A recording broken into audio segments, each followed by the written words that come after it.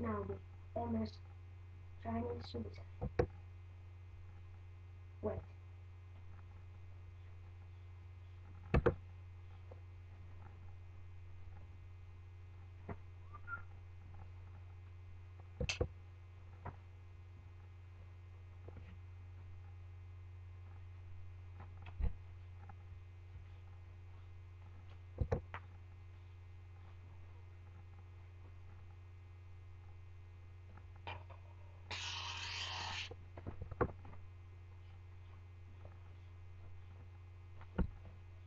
And now